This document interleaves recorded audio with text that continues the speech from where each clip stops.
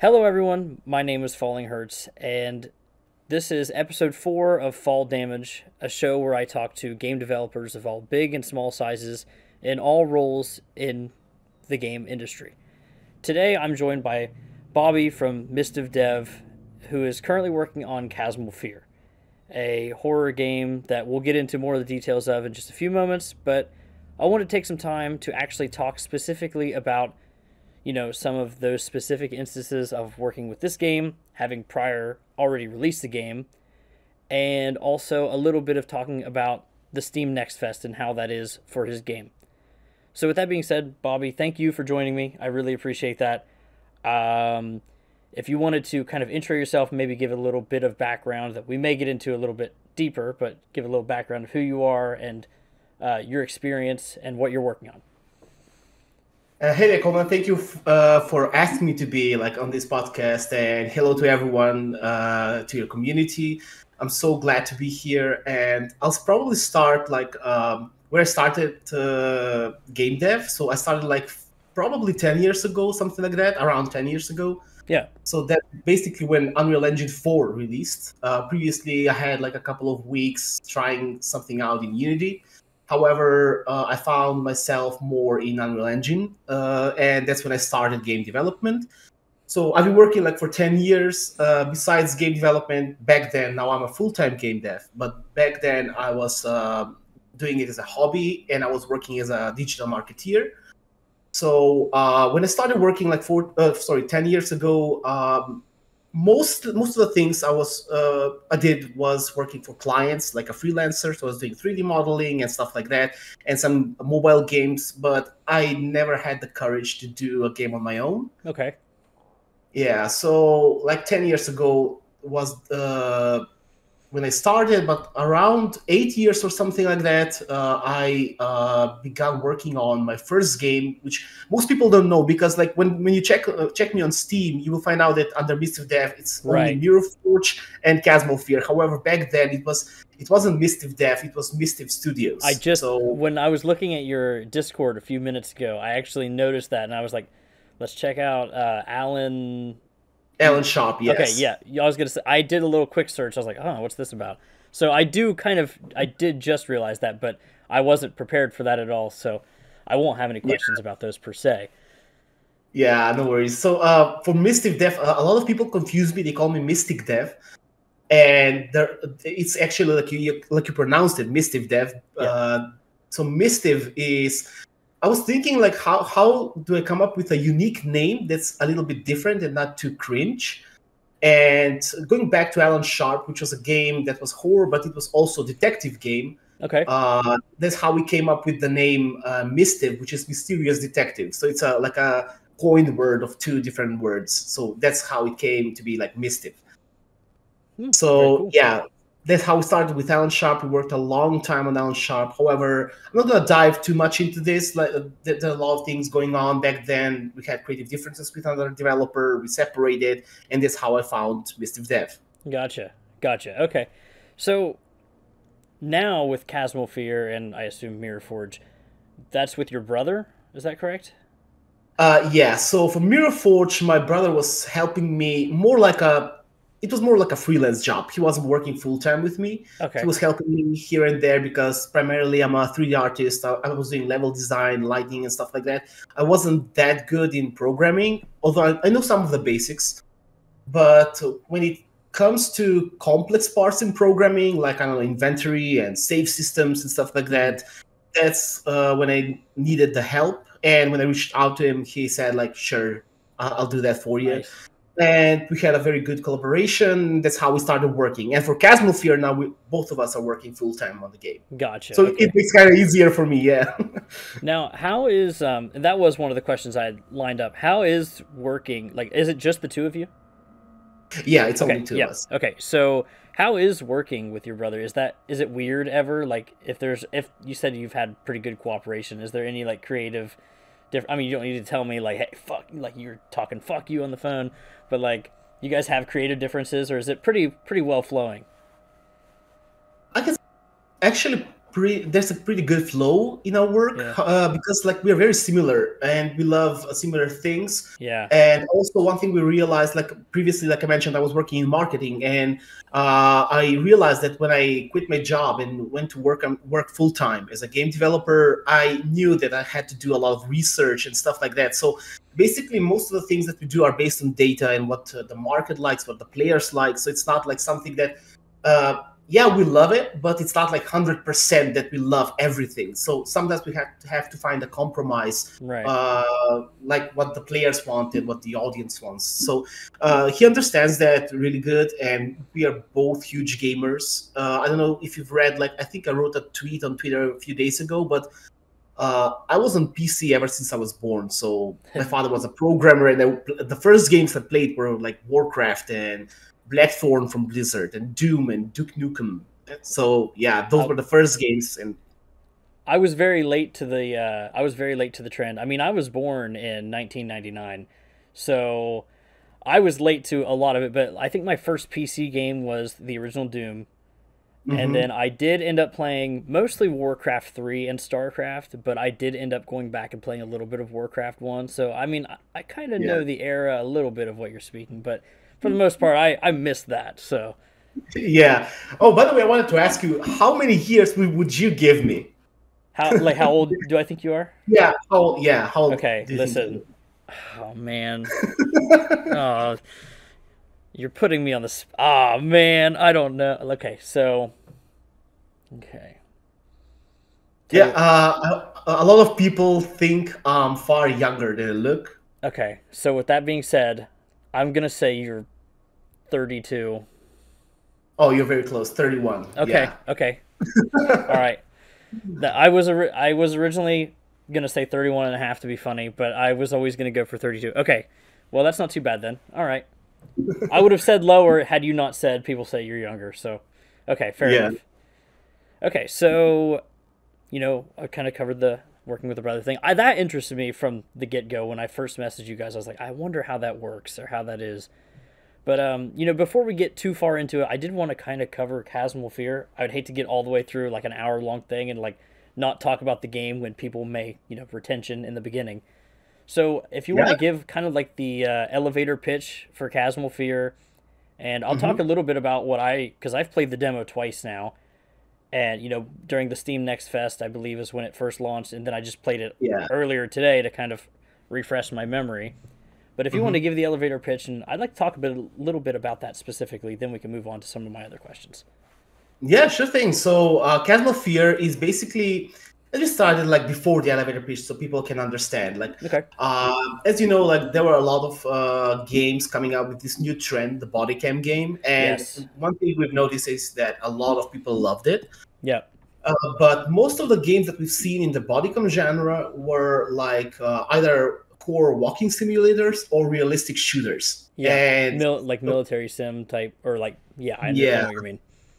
Yeah, so uh, while sitting with my brother, we were discussing this, and I had an idea like, uh, what would it be to play a bodycam game, like seeing it from perspective of a camera, but but it's set in the future and it's a sci-fi. Mhm. So uh, we checked the internet, checked whether there is such a game. There wasn't. So I, I can say that Chasmal Fear is the first sci-fi body cam game. right. And uh, another thing was, uh, wh- while Mirror Forge was a walking simulator, we always wanted to make uh, a shooter game or survival horror game, but back then we weren't ready to do that.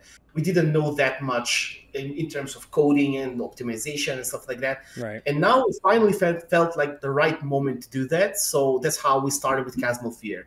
So coming back to the elevator pitch, it, uh, Fear is a sci-fi bodycam uh, survival horror game set underwater, and uh, there are like mutating monsters. Uh, I, I will go deeper into that like later on, but there are mutating monsters. There's random events. Player choices uh, can affect the entire levels, can affect also the endings and the gameplay style.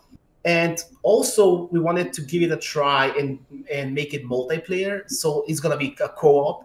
Yeah. So uh, maybe it'll, it'll be good to answer here because I get a lot of questions from people why uh, Chasmal Fear is not designed for more players because we said that the multiplayer will be two players basically, two player co-op. Um, one thing to to clarify is that multiplayer is like when you do the, the code in multiplayer, you, you, can do it for as many people as you like. But we felt that for horror, the more people are there, it's less scary. So that's why I wanted to do it to make it like only right. two players. That's right. it.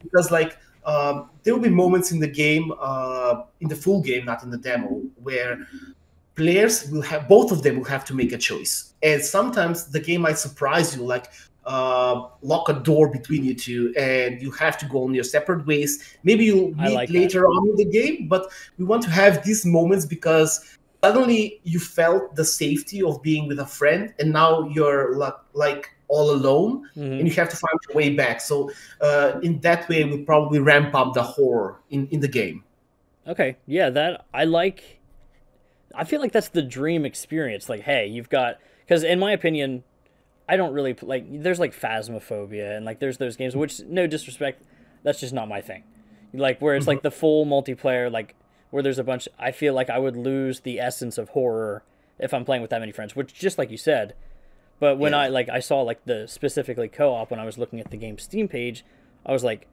that's pretty cool. And then I was I was watching your Q and A where you were talking about what you just said, where it cuts off the players.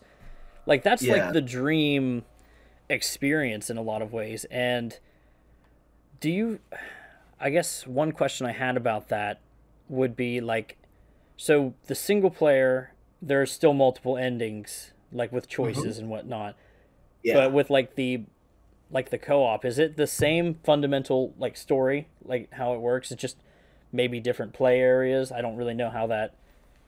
Uh, no, actually, it'll be the same areas. Everything will be the same. The only difference is like in the multiplayer, we have like a how do I say an invisible guy, uh, like a manager in the game, who checks everything whether the game is single player or multiplayer. So okay. there will be like choices. If you play single player, you pick that choice and it like locks a couple of doors, it opens another, and that leads to different set of areas. But in multiplayer, sometimes you have to both of you make a choice. So that'll be different. Gotcha. Uh, and yeah, so the areas will be basically the same, and uh, the ending in, in the end, like when you get to, to the very ending of the game, the game will check everything you've done before, and based on that, it'll give you the ending. And uh, you, in the demo you've seen there were like three buttons and you press one button leads to one set of areas and yeah. if you press the middle button you go to another set of areas. However uh, in the full game there'll be like more how do i say it more ethical based uh, choices. For example i'm going to give you an example. It might be a spoiler but like a not, moral not, decision? Yeah like a moral decision. For example you have a guy who asks you like to save him but and that's like uh, the hardest uh, choice and you have to like go through a lot of obstacles to do that or there will be an easy choice where you just let him die so those mm. choices will affect uh, the the ending so yeah that, that's how Very we cool. thought about of yeah I like that. I, I like I like the way those kind of systems work. I definitely went for the machine gun up the vent. So I yeah. mean that's 100% my way. Um, and one thing I did want to mention with the demo, and maybe this was me being silly. I'm not meaning this as like a hey, come on my podcast, let me say mm-hmm. something. Um, the ammo crates are they mm-hmm. per per gun? Are they all the same ammo crate? Uh, so actually, we thought a lot about it. Uh, we were considering whether we should have like separate ammo for every weapon. However, the ammo crates in Fear, in the end, we decided to, to be like for every weapon. So you just gotcha. pick up the ammo crate, so in the beginning, like when when the Chasmal Fear demo released, uh, it was basically you need to have the weapon in your hand in order to like refill it. That's however. okay. We, yeah, however, we did an update based on player feedback, and uh, now uh, when you pick up the ammo box, it basically checks uh, if your first uh, weapon, you had the one you have equipped, is full. It'll add the ammo to the second weapon you have. Gotcha. So basically, basically, it'll like distribute the ammo uh, to all your weapons. Mm, so that's okay. how we did it. Maybe it'll change in the future because I don't know if you've noticed, but we did like three updates to the demo so far. We're listening a lot to the player community. That's the same thing we did with Mirror Forge. So uh, we did a lot of changes, a lot of updates. So the last update basically was a total overhaul of the demo. So, so, so there was like a lot of things changed, a lot of updates, the models, animations, everything. So yeah, b- uh, basically what players will will tell us and the feedback we'll get is how we'll improve the game Actually, we'll have an update maybe next week for the demo, which is also a big one regarding optimization. We added ADS uh, while aiming, like ADS sensitivity. Mm-hmm. Uh, yeah, a lot of things were added. So probably there will be a huge update next week. Very cool. Now, I, I guess that's a good transition there. So, Steam Next Fest. How was it? You know, was it? Uh, well, is this your first participating Steam Next Fest, or did you do it with Mirror Forge as well? Actually, we did it with Alan Sharp too. So this oh, is like our sixth or seventh Steam okay. Next Fest. So you're you're, yeah. you're a veteran then. You're set. Okay. Uh, well, Steam Next is, is always pretty good. However, the last one, the one that we had now, was probably the best of all the Steam Next Fest we had. I'm not really sure whether it's like uh, the algorithm of Steam or maybe the, the game genre itself. As you know, like uh, if you check on, on SteamDB or, or, or all other analysis sites, you see that shooter games like perform the best. They have the largest player base. But I think we've shared on Twitter there were like five thousand wishlists during Steam Next Fest. It was a pretty huge number. That's, that's awesome. Yeah, yeah. so it, it, was very good. The only thing uh, that probably was a setback during Steam Next Fest was somewhere like near the end of Steam Next Fest, or maybe in the middle. I'm not really sure. Uh, I don't know for what reason, but Steam decided to do the sale. It was like China China's New Year sale, or something like that. Okay. And that heavily affected like uh, all of the demos and all of the indie games participating there. So hmm. probably maybe that that was on Steam side. They should have done it maybe a, maybe later or, yeah, or earlier. but sure. yeah, it was uh, like uh, out of our hands. Gotcha. Um, how is you know with the with the next fest in mind, or even just with people that follow your games as it is?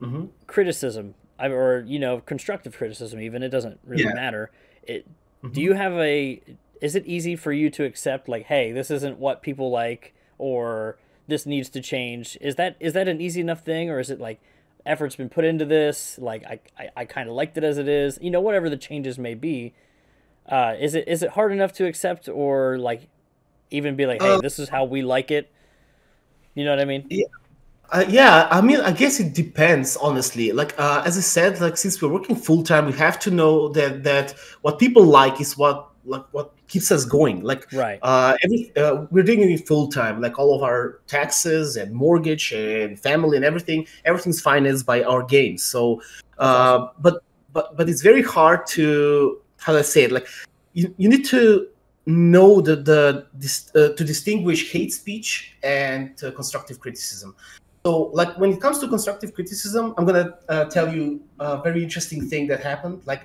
there were some people who said like, "I hate the body cam. I don't like it at all." Other people said, "This is pretty cool."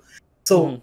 you can't. So one, one thing we did there there was add uh, an option to turn it off. Uh, so you can turn off the body cam in the options.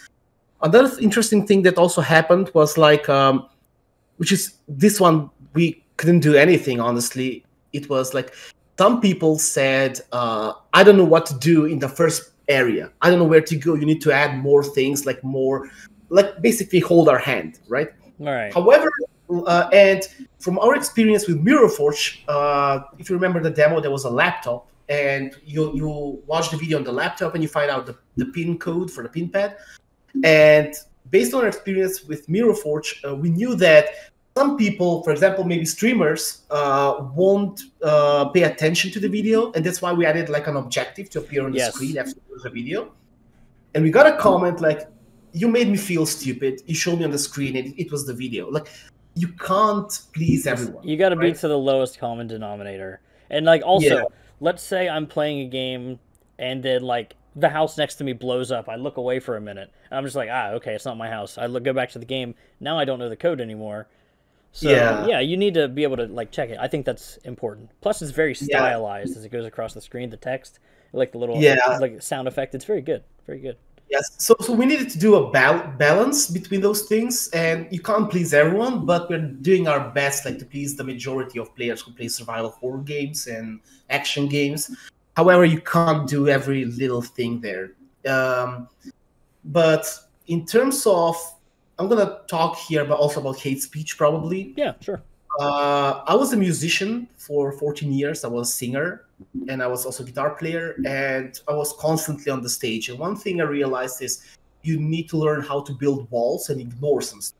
So just simply ignore it. Right. And that, career back then helped me a lot with game development because when you're full time in, you don't have another guy to check those things for you. You're checking them yourself, and sometimes um, it can be demotiv- demotivating, right? hmm So, but but if you learn like just to ignore them and don't pay attention to it, just keep on working. You have people that love your game. It's not that hard. However, um, in terms of hate speech, probably uh, the most of most of the people who who do it are like uh, I don't know, like those are the loudest on the internet. We already Right. know that. Like Yes. on social media, uh, like a person who loves the game will say, "Oh, cool game, yeah, I, I Yeah. love it. I'm gonna play it." A person who doesn't love it will keep on like They'll keep commenting every time. Yeah, yeah, yeah. Yeah. Yeah, that's uh something I've never experienced. I mean, I'm on a very like tiny corner of the internet, so I'm I don't have to worry about anything. I'm not putting anything out there that like you know, like I'm not playing putting something out there for people to play or anything like that. So that's always been something that I'm like, man, I don't know if I could take criticism truly. I'm like I'm over here like I I make game reviews. I I give criticism if anything. So it's like yeah, couldn't Yeah. couldn't turn the corner on that one. I'd be I'd be rough. But um no, that's uh, interesting about the you know being a musician. Do you do the do you compose the soundtrack or like do the music as well? Uh, no, not really. Uh, actually, for for this soundtrack, I did uh, like a combination of different free sounds that I found, but. Okay. The, I, I don't have uh, time anymore, like to do music. I, I left music like three years ago, so I'm not singing or performing anywhere. Okay. So I, I'm focused on a completely different uh, profession now. So Right, Yeah. right. Okay. That I mean that makes sense. I mean, kind of a headspace thing you got to lock in. I get that. yeah, What um when making Chasmal Fear so far, what would you say has been like the biggest challenge? Assuming it's not something we've answered already. Y- probably the the hardest one was optimization, and um, I don't know if you, if you've seen the first trailer, the very first trailer that we released for Fear. It was a long time ago. Uh, that trailer looks so different than the game looks now. Okay. Uh, the thing was, we tried utilizing every best feature of Unreal Engine 5, like uh, all the high quality stuff, like Lumen and Nanite, latest technology, cutting edge, I don't know, like uh, uh, to look graphically very realistic. But uh, we found out that lower end PCs won't be able to play it. And we thought a lot about it, and I was like, what good is making a game if a lot of people can't play it? And we had to like sacrifice a lot of things. So, for example, uh, Unreal Engine 5 has uh, global illumination, global lighting, very realistic, very good. And we had to turn it off because it was uh, causing massive FPS drops. Uh, there was also very high quality shadows, which, like, if, if you if I turn it on, which is one click uh, in Unreal Engine, uh, if I turn it on, it will drop like 40 FPS. And we we wanted like for more players to play it and i said like we're gonna sacrifice all of this. We don't need the game to look that realistic. We can just turn it off as long as it's fun. So yeah. I think ultimately the uh the like the saving grace of that mindset like it even like still looks very well under the guise of like the body cam style. Because yeah it's like you know when there's not like oh that that shadow over there isn't you know you know 4k this or that or the other i don't really know how it works. But uh you know you just be like oh well it's the camera you know what i mean? It's fine so. But yeah. it, Well, the game what- i like the the lighting of the game specifically with the colors and everything from what i've seen so far of course. Thank you. Yeah well i, I was kind of like uh it made me think a lot like i was watching the unrecord playthrough you know it was very realistic and Yeah. everything. And i was like i don't know like if these guys managed to pull it off for even lower end pcs to play that that'll Yeah. be that'll be like a miracle but like we did a lot of uh reading the documentation of unreal a lot of stuff and Mhm. there are a lot of things in unreal which heavily impact performance and like if someone has like a lower end pc and i i mean i, I can't say it's lower end because like uh, i saw a lot of streamers who have very good pcs they they had like fps drops yeah so yeah we're still very early with uh, not a lot of people have good pcs uh, like in the world to support unreal engines like in full so yeah Yeah, I think the only time I ever noticed an FPS drop, it was never due to, you know, effects on the screen like the the gunshots or anything like that, or enemies on the screen or anything like that. I, the only time I ever noticed it is if I was going into a new area. Every once Yeah. in a while, it dropped down for a bit, but that's kind of the uh, the trade off of having the seamless like level. You know, no no loading screens. I mean, it's one of those things that even still, it wasn't. I never had major Yeah, issues well, with it. Actually, yeah, actually, we did a lot of optimization now for the next update next next week.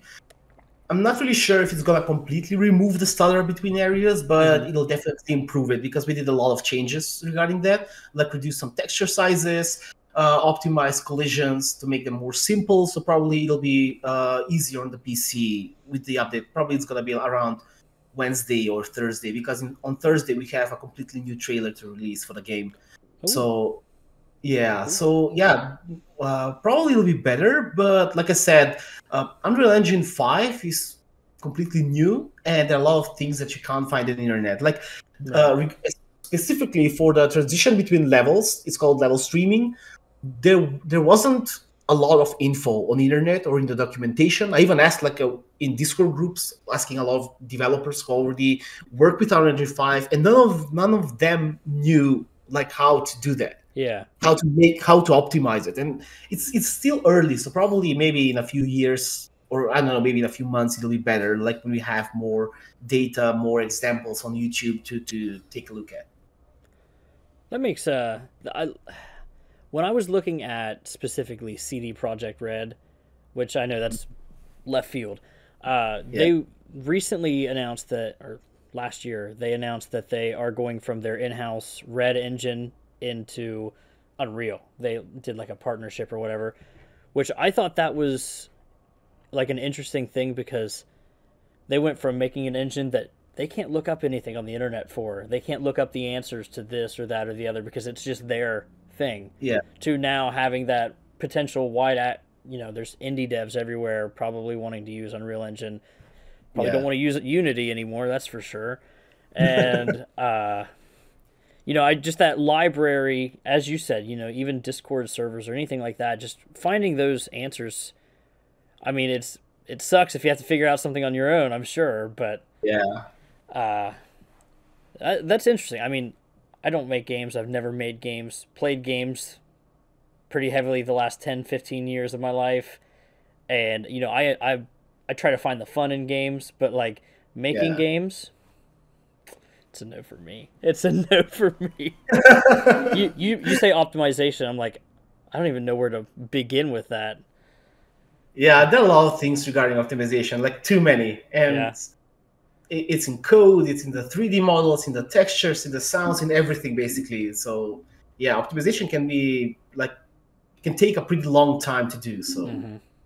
it's very important like to pay attention to it like from the very beginning. Like when you're starting the project you know where you're going and Right. you know like for example i don't know uh, you have a mouse a pc mouse there. You, you, you can put it like 256 texture size instead of like 2k you don't need Right. th- that big texture for a mouse so or ma- maybe like there uh, there are a lot of games that do this like uh, some i can say unimportant uh, objects in your world like i don't know you have a pencil you have uh, like some small box they don't need to cast shadows so they're like Gotcha. shadowless in a way yeah Okay, well, I'm, it's stuff like that that, like, you know, as a player of games, you don't really think about too deeply. You just think, well, according to Twitter, you think that if you comment on some developer's account to optimize their game, it just happens. So, I mean, it is what it is. But one last thing I want to talk about, or I guess two last things I want to talk about, specifically with Chasmal Fear. Um, Are you going to be like looking out for a publisher? Are you self-publishing the game? uh i guess i can talk about this I mean, so no. If it's something that listen, you can say, "Hey, no, totally fine. Uh, I won't even." yeah no care." worries so maybe i can say it um, at the moment we are in discussion with six publishers Okay. so six publishers at the moment we're talking with them it's just like we're trying to find the best one that best uh, suits the game and those who understand and appreciate the genre and everything. So it's kind of hard, like to to when a publisher reaches out to you, you need to go in in much depth and research everything they've done and see how they work and see their community before you make a decision. And then right. comes the agreement, and you need to go like with a, with a lawyer and check the agreement if everything fits like uh, with your idea and everything. So yeah, uh, I mean we are open about it, but I'm gonna be honest. For Chasmal Fear, Chasmosphere is performing in terms of numbers maybe four times better than Mirrorforge uh, before we got DreadXP as a publisher, but uh, it's performing four times better. It's going really good. So I'm not really worried whether we'll get a publisher or not because I think I shared it publicly. We already surpassed 10,000 wishlists, and the game is planned to be released around quarter four, and the marketing is going good so far. I think, yeah. So I guess it depends on what the publisher brings on the table and how much it can bring for for Chasmal Fear. Gotcha. As a like side tangent, this isn't something I'd necessarily plan to, but basing off of that, uh, to you as an indie dev or an indie team, what does what does a publisher how do you benefit from a publisher as opposed to not? Like, you know, what are what are your trade-offs there? You don't have to speak specifically about your experiences or yeah. you know what your deals were. Obviously, you probably can't even.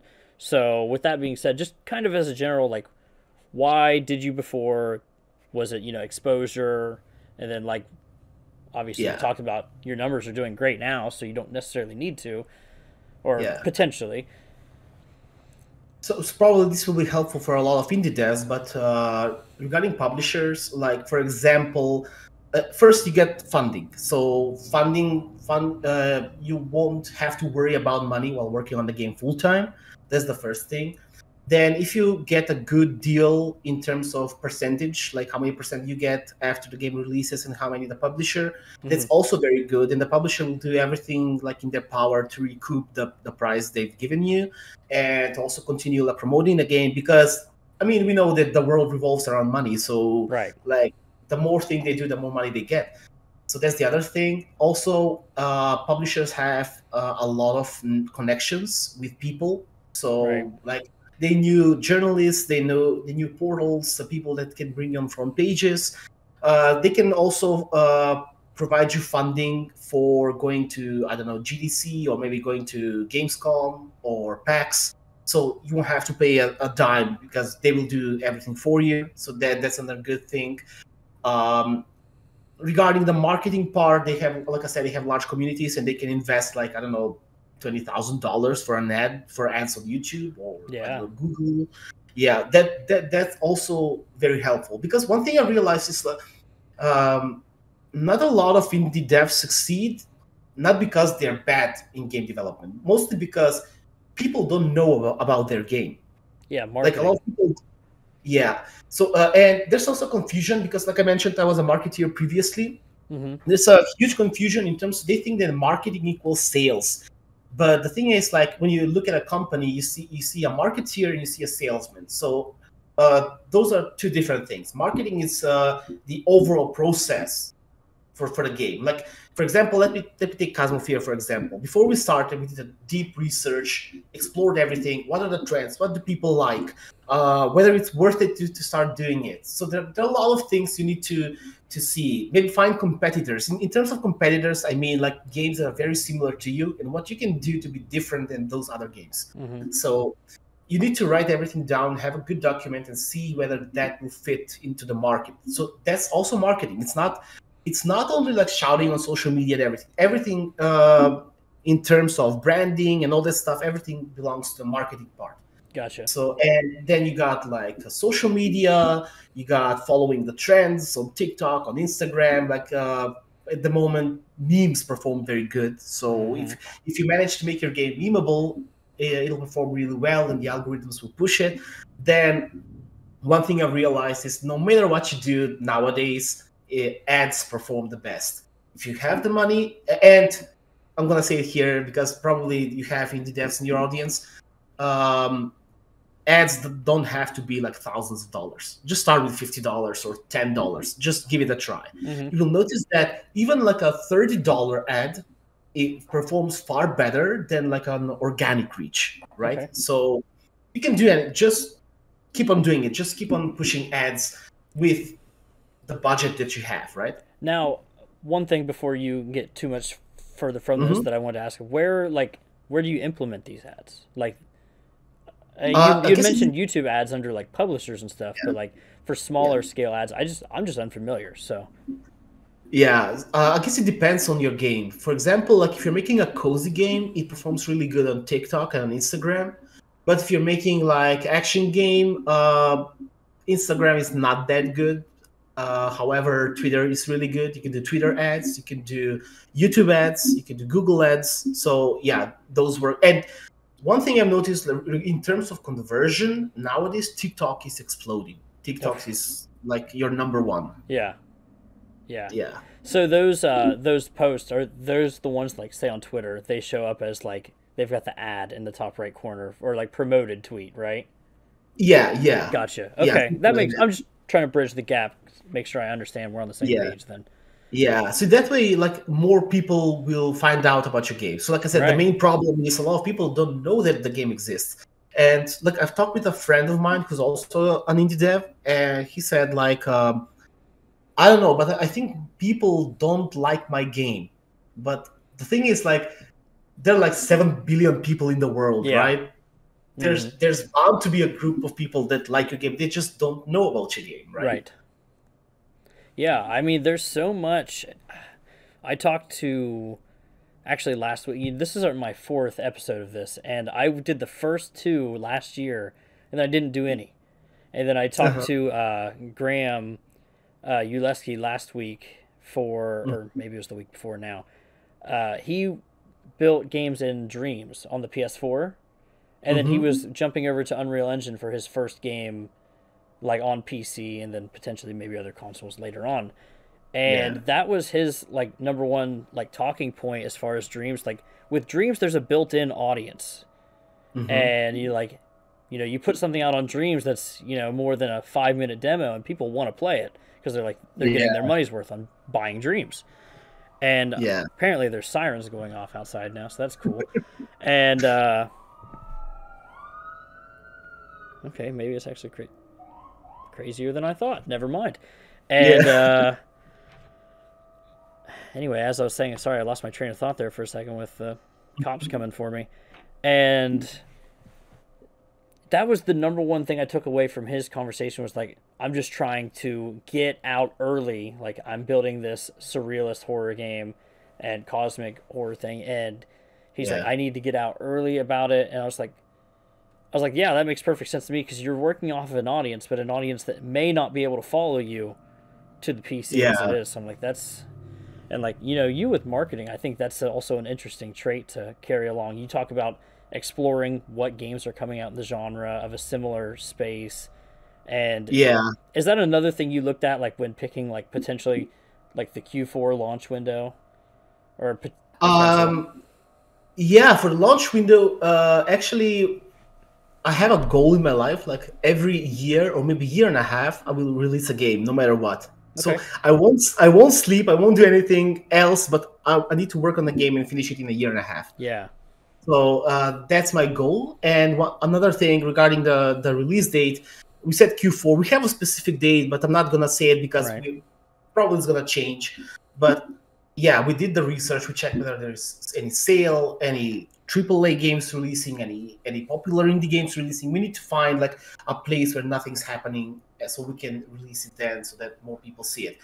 And uh, in terms of the the research and the marketing, uh, I don't know if you know, but like Chasmal Fear was uh, the the Steam store page was released like I don't know a long time ago, and we are re- releasing the game like probably in November, December, Q4, right? Okay. So yeah, we did our best to release the Steam store page and the first trailer as earlier as possible because those wish lists need to like go out before you do anything else. And we have a lot of uh, festivals like Steam Next Fest. Then we have what was it called, China Joy Fest or something like that in July.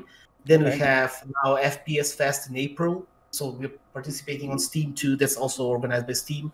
Yeah. Uh, there's Screamfest in October, I, th- I think. So yeah, there are a lot of festivals, and we are trying to to participate everywhere to increase the wishlist numbers. Yeah. And on, on social media, like uh, we've been doing it ever since the beginning, like posting constantly.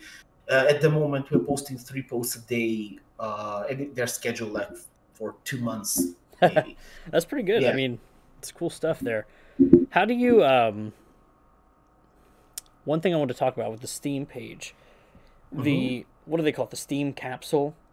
yeah, I always talk to devs about that. Like that is basically you like you click on a game, you click on an account, it's got your main image, maybe a trailer, you know, the description, maybe some gifs in there, all of your links and everything. Basically everything you need to know from that page, right? That's the concept. yeah.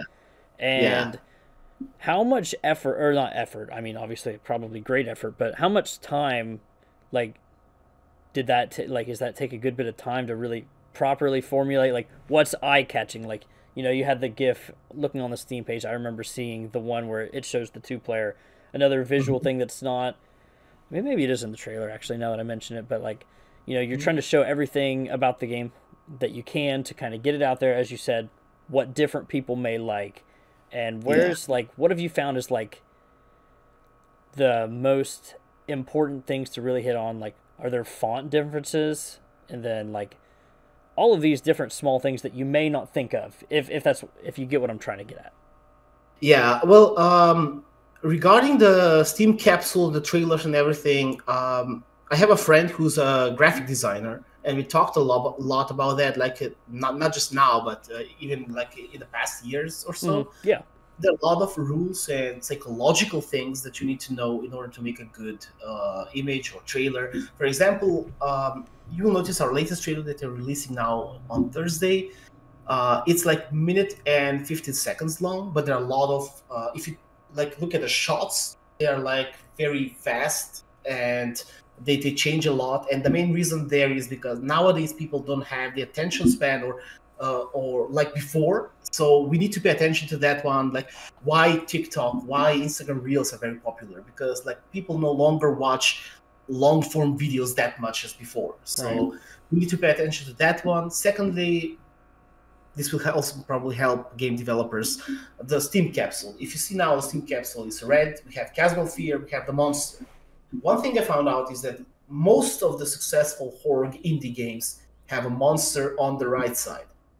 So that's what we did. Huh. We have the monster on the right side. For example, I don't know, check Devour, check uh, what was the other game? I can't remember. We did like a lot of research with the yeah games yeah yeah also the steam capsules are there secondly let's talk about the the red color red color means it's much more striking Yeah. yeah it's striking means passion it means power in psychology even when you're doing like web design that's the thing uh, and like when you eh, or it means danger right? Mhm. red color. So if you take a look at it like it, it'll grasp your attention. That's the second thing we did. And regarding the steam page or the trailers the uh, how we started doing them basically we wrote down every i'm gonna go marketing here unique selling proposition that we have for the game like the hooks that we have in the game. Okay. So, for example, it's a uh, the monsters mutate, and that means that we have monsters that when they die, they can unpredictably mutate into one of a dozen variations. So that's that's something that's in a way unique. Then we have the body cam perspective, which is trending. We have Unreal Engine written down, which is like a huge uh, trend at the moment.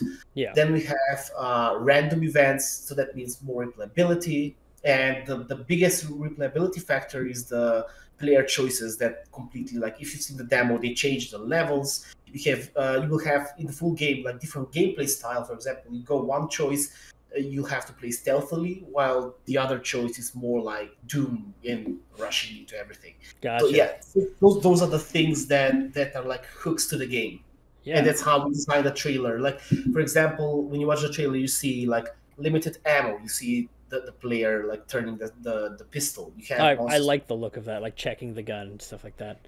Because at first you. I was like, at first I was like, it did throw me off at first. I remember like, man, this feel this game feels perfect for like the ammo counter right at the end, so you can see it as you're like aiming. But then I was like, you can check. That's just as good, and even actually more of like a horror thing, less of like a action like Halo where you can see it on the guns Yeah. directly. So I think ultimately that works tonally a lot better, even. So. Thank you. Yeah, so so those are the things that like uh, we thought a lot about. And regarding the description on Steam, there are a couple of things you need to like uh, write the text as if you're speaking to an eight years old, right? So everyone to understand. Yeah. So you, you make it very simple, get to the point, and tell them what how your game is unique and what is different than other games. That's the first thing. And the second thing that we paid attention is the SEO, the search engine optimization like keywords, what people look on Google, uh, how can we bring our Steam store page on the first page of Google. So those are also things that we've uh, paid attention to. Gotcha.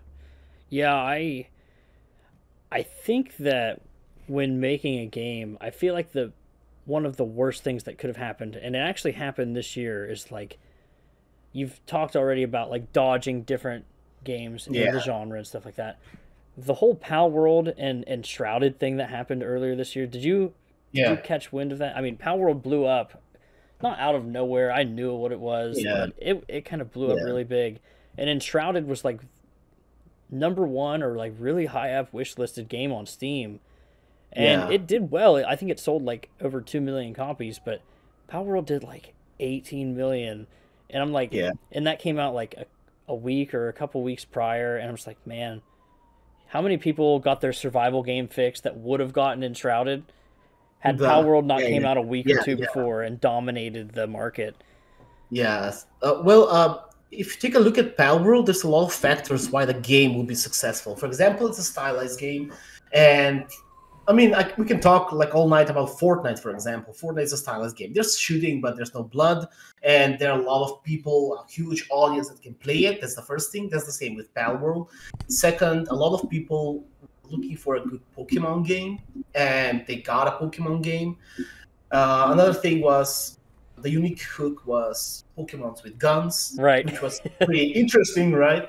So that was another thing and if you take a look at it they have they already have like a large audience they're not limited by 18 plus or 21 plus or mm-hmm. i don't know mm-hmm. 16 plus so those are a lot of things and, and, it feels fun and one thing which probably helps a lot for marketing is the game is memeable you, yes. like you can take any I can say pal Pokemon, any Pokemon there, and make it a meme. So yeah, that helps a lot. I've seen so many Palworld labor camps.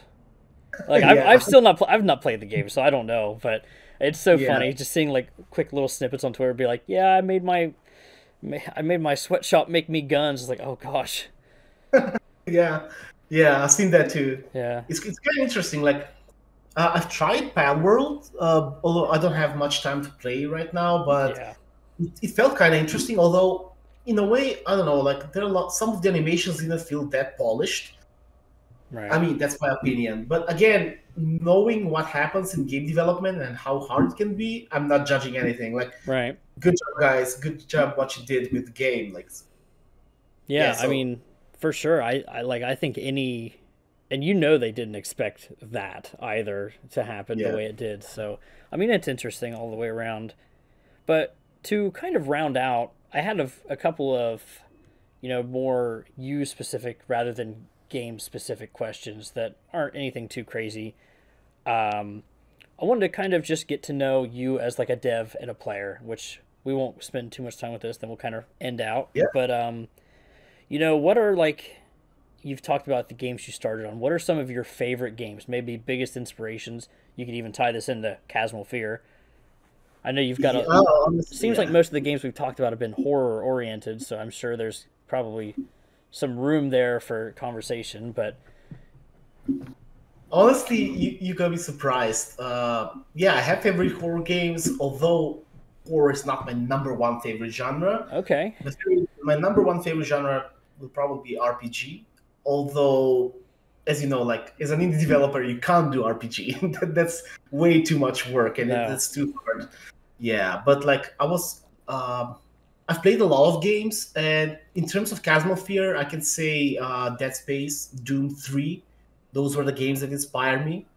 Uh, some people say it looks like Bioshock, but I won't agree with that one because Bioshock is more stylized, and this one right. is like more like Doom 3 set underwater. So it's not Bioshock. Okay. Bioshock has a different color, different tone, and stuff like that. Um, they mentioned also System Shock, although I've only watched System Shock, I haven't played it honestly. And in terms of RPG games, RPG games, uh, basically, I'm gonna talk about a period in my life that complete that, that it's, it's completely ruined life for me. I was a player, I was an addict, I might say, for eight years playing World of Warcraft. Oh no, yeah. I mean, it makes sense. You had those Blizzard roots going, so you're just like, oh, Yeah. man. So I played World of Warcraft. I even remember, like back in the day, uh, uh, friends calling me to go out, like in a pub, have a drink and stuff. And wouldn't go out. I was like, "You go, I'll stay home." Only to play Skyrim or Morrowind, I think it was Elder Scrolls. So those two games were probably my favorite back then. But nowadays, uh, I don't know. I haven't played a lot of games. Honestly, I don't. I even don't have the time. That's the first thing. And the second thing is, uh, I don't know how do I say this, but like when I play games now, it, it it's kind of I even talk about this on Twitter. It's more like you're analyzing everything. You can't feel the joy, right? For Yeah. example, uh, I played a multiplayer game with a friend, and he's like going forward shooting, and I'm like uh, looking at the textures and the UI. He's like, "Come on, dude, what, what, what the fuck are you doing?" Right? Yeah, Sorry. yeah, yeah. No, you're good. I think I have like three or four times already. You're fine. Yeah, so so I'm like like when I start a game, I, I'm more like playing it from a game dev perspective, which is bad, honestly. It's not good because you can't enjoy the game for what it is, right? Right. That's int- I mean yeah. that's interesting. I mean I was gonna that, that was like my follow up question was like, do you think it's important as a developer to experience other work? Maybe not so much to be like, you know, hey I, I like this. I should do my version of this, but more so of like how other developers handle certain situations, and you know maybe technical achievements or something like that. I did. I don't know, but obviously you've said kind of how you feel about it already. So Yeah, but it's, it's very important to play the games because, like, uh, for example, you can't. I'm gonna give a like very simple example, but like you have a reload weapon, right? If Yeah. you press, press R, you get reload weapon, but uh, you can't like come up with. I'm gonna put uh, reload on Y or on U. You need to know like what are the basics of that genre. You need to know Mhm. what what people uh, are already familiar with, right? right. So you know, in a way, like even what AAA studios do sometimes is like you go with the familiar things that you have in that genre. For example, E is always interact, uh, WASD is always for movement. Yeah. But then you add a small twist to it, like some unique mechanic, unique hook to, to make it a bit different. But Mhm. you can't escape like from the mechanics, right? For example, it feels like uh, there was a comment like uh, even for Chasmal Fear, like uh, yeah, they're copying Unrecord, which is I mean it's totally different. But Yeah. for example, if you take a look at FPS games, does it mean that all of them are copying Doom or Duke Nukem or Right. Half Life, right? So that that's the, the, the familiarity in, in the, the basics of the game, right? In the genre. Yeah, I'm I've never understood that criticism. Like unless a game is like it's so hard to even find an example of something that's so similar. Like I can't. Like even Palworld, like some like a lot of people talk about how that rips off Pokemon. It's a completely different styled game. Like outside of maybe like an aesthetic, which is kind of similar, but even still probably like I don't play Pokemon either. Probably looks better than Pokemon. So, Yeah. you know, I Well, mean, You know, a lot of people might hate me for this, but when I talked with another developer regarding this, and he said the same thing for Palworld, yeah, they're copying Pokemon, and I'm like, just dude, just take a look at the numbers and, and the sales. yeah. I, I won't say anything else, right? Yeah, uh, people might might say anything, but the game is successful. We can't deny it. Yeah. For example, also for Fortnite, Fortnite, I'm not defending it like with the skins and stuff, like or or anything like that, but the game is successful. You can't deny. Oh, like, I'm what- a, what- I'm a Fortnite defender. I I have so Yeah. many hours in Fortnite. Yeah, yeah. Fortnite is uh, that's like my guilty pleasure. Yeah, I've played Fortnite for two years, maybe. Uh, I don't play it anymore, honestly. So it's not that I don't like it. it it's kind of just like fell off. I don't know. I mean, I get it. I uh, I kind of go in like, I go in lulls. Like, there's like, okay, this season's really good, or like, I really like the way the, like the gun, like the loot pool is this season. Like, I'll be like, yeah, this is really good, and then the next season it's like, all right, these guns feel like shit. They all feel like shit. I guess I'll kind of die down a little bit. but I always end up finding my way back. So I don't know. Uh, well, I remember during that period when I played Fortnite, I also played Apex Legends and Call of Duty Modern Warfare. I think Yeah. I played those two, although I haven't played them as much. Actually, no, I've played Apex Legends more than Fortnite Gotcha. back then. Yeah, but I mean, nowadays I usually like, to be honest, at the moment when I try to relax, I either play uh, maybe for an hour Star Wars: The Old Republic. That's an MMO. Okay. So I play that one just like to relax. Like um, uh, Star Wars is more like um, it's not a traditional MMO. It's more like a single player. Just go do the quest, like Right. So I play like for one hour, and you know, like when, when you're working on a game when you're full time dev, you always have alarms, like I mentioned earlier, like for, for TikTok. Yeah. So I just put an alarm. Alarm. I'm gonna play for one hour. After that, I'm gonna close the game, and that's it. Right. Gotcha. No matter how interesting it is. So yeah, I'm always trying to find balance because, uh, like when you go full time dev, uh, some people might think like, yeah, I had a friend who talked with me and he said like, oh my god, you're doing what you love and everything, but uh, not a lot of people realize that sometimes it takes like 18 hours a day to work and you always need to learn. So it's not like everything's, uh, I don't know, like the world is pink or something like that Right. you have a lot of things you need to do and everything like falls on your shoulders so yeah Do you think, uh, going back to the game dev talk, I guess for just a second, do you Mhm. think like this is your first game full time, correct? Uh no mirror forge was the first Mirror Forge was as well. Okay, sorry, that's right. Yeah. You this is your first game full time with your brother. Uh, Yeah. With that, like, do you find yourself like you you spend time learning something new? You know, maybe a technical hurdle you had to get over, or this or that or the other. Maybe a new way you like, you know, streamlining a process. Do you find yourself thinking, I'm going to use this in every project, like this knowledge in every process, uh, like in every project going forward? Like, do you find yourself like little tiny like like leaps Yeah. forward? and- You know what I mean?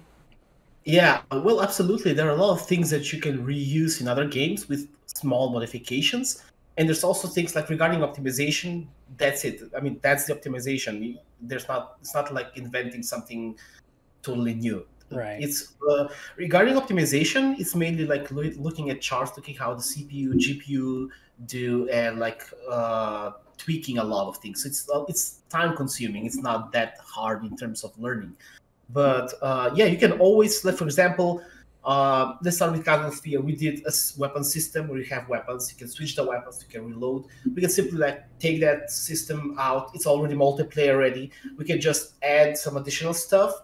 We don't have to do the core uh, basics in the code. So yeah, you can reuse a lot of things like from the games. Although honestly, for Chasmal Fear, we didn't use like a single line of code from Mirrorforge. It was a very different game. It was basically a different engine, so it was UE4 To versus five. UE5.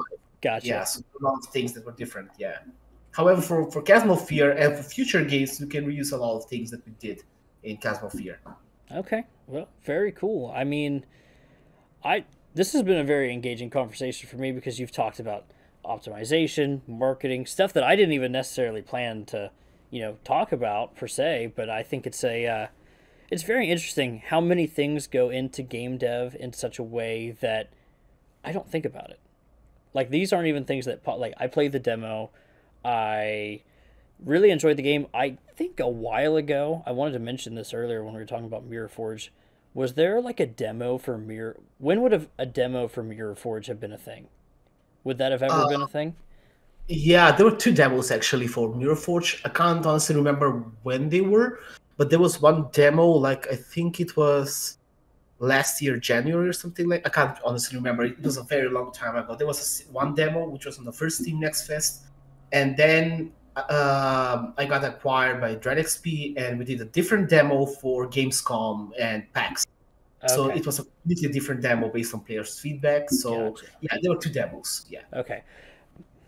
Maybe I played it. I feel like I might have. I, I haven't played the game in full, but I feel like I might Yeah. have played a demo before I knew I would ever be talking Yeah. to you guys. But um, Well, You know- here's an interesting thing. I, I don't know if you know, but like I think I've talked a lot, of, even on Twitter. But uh, the games you play at this particular moment, uh, can affect what you do at this moment. For example, I was really in love with Layers of Fear and Visage and Outlast back when I was doing Mirror Forge, Yeah. and that's why I did a game similar genre. And now I play Dead Space and uh, what was the other? And Doom and so on. Yeah. I was like, I'm gonna make a game like this. Of, of course, I'm gonna check the market and everything, but Right. like, the passion for it was from the games I played, and uh, also why it's underwater. Um, I was on vacation this uh, last uh, year, and I decided to go in Egypt for the first time. And I don't know if you remember, but last year in Egypt there was like a shark at- attacked a man there. I can't say I have. Yeah, so basically, I was in the water, and honestly, my greatest fear is sharks. Like, I've never seen a shark in real life, but I was uh, because maybe because when I was very young, I watched Jaws, and I was terrified. Like yeah. when I go into water, even if it's a lake, I mean, Yeah. it's crazy. But even if I go in a lake, I like I, I look underwater if there's anything like like any shadow. Lake shark. So yeah, so when- when I was in Egypt, we were I remember we were in the sea and people started running around. It was like 50 kilometers from our place. And people started shouting like get out of the water. So and when I came up with the thought of making Fear, I was like, I'm gonna make it underwater because I'm terrified of sharks. I'm gonna put a Yeah. huge shark there. So that's how it happened. Have you played um have you played Soma from Frictional Yeah. Games? Do you like Soma? Absolutely. It's an amazing game. It, it has a very good story. Yes. I, I enjoy that one a lot. Um, yeah. The Bunker is also pretty good from last year. Yeah. But okay, well, on that note, I have one final question for you, and I'll I'll be cognizant of your time. We can kind of you know wrap up a few minutes after the episode or whatever. Do you like Alien, like the movie franchise? Are you an Alien fan? Actually, yes. And I watched the first Alien. I don't know for maybe for the tenth time yesterday. Wow. Okay. All right. So we're Yeah. we're hitting on the heels here. Then, did you see the new trailer? Uh, for for the game. No, for uh. Alien Romulus, the new movie that's coming out this year. Oh, actually, no, I haven't. Actually, I should take a look at it. it's it's looking pretty good. It's that's why it's on my mind right now. I'm just I'm very excited. As for Alien games, I have like that's like my favorite franchise. I have to say. So like, I have to like I'm I'm a mail carrier. I, I deliver mail, so I spend five or six hours driving around with nothing to do but delivering mail.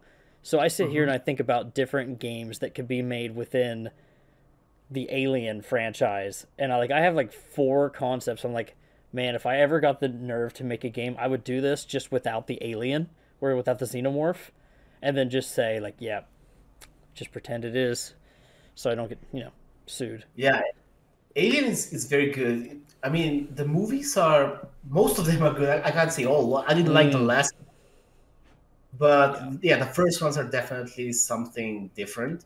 Um, regarding the last movie, is it Ridley Scott again or someone else? Uh, he's the- producing, but the director is. The last thing I know he did was the Evil Dead reboot, like the 2013 movie, which Yeah. yeah, I don't know. I think that was well received. Everybody, the trailer looks really good, and like I'm just like, okay. Yeah, I saw Alien Covenant. It wasn't really my thing. yeah. And- What, what what do you think about Prometheus? I think it's over explaining. Yeah, That's Oh, my that's my know. opinion. I like how detached it is. Like it's ultimately like if it if you look at it as a prequel, it's so far as a prequel that it's like you don't see the direct lineage. You can look at it as its own thing. Mhm. But I think as far as like explaining the xenomorph as a weapon or whatever you want to say, I just Yeah. it's too much for me. I'm like, okay, let's calm down here. Yeah, I'm, I mean, I don't know. I kind of liked it. Uh, I'm, I was also a huge Star Trek fan and Star Wars, both Star Trek and Star Wars. So I can't like do any, I don't know, like which franchise I like more. But I love like when something is explained to me. So it felt kind of good with with uh, Prometheus. Especially, I love the the moment like how Earth was made and how civilization came to be. It was very cool, interesting concept. I mean, there was definitely a lot of cool stuff with it. I just, especially, I think with Covenant, I think Covenant, in my opinion, is where it kind of toed the line because that like bridged the gap even further. I mean, it even took on the Alien name by that point.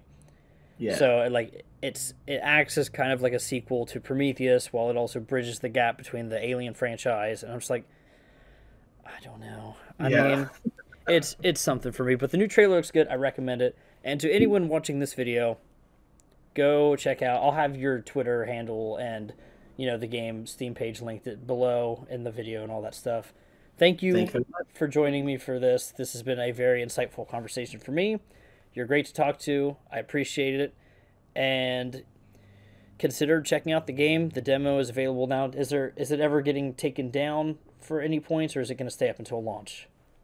Uh, probably if it ever gets taken down, it'll be for a new demo. But for now, Gotcha. it'll just stay because we, we are planning. Maybe not really sure, but we're planning a new demo with the multiplayer features. So probably people later on will be able to play multiplayer even with the demo. But I can't say anything because I'm not a programmer. I don't know how hard it is to do multiplayer. So Gotcha. I'll just leave leave that until like we get the release for the demo. All right. Okay, well, thank you for coming and thank you for watching and I'll go ahead and end that now.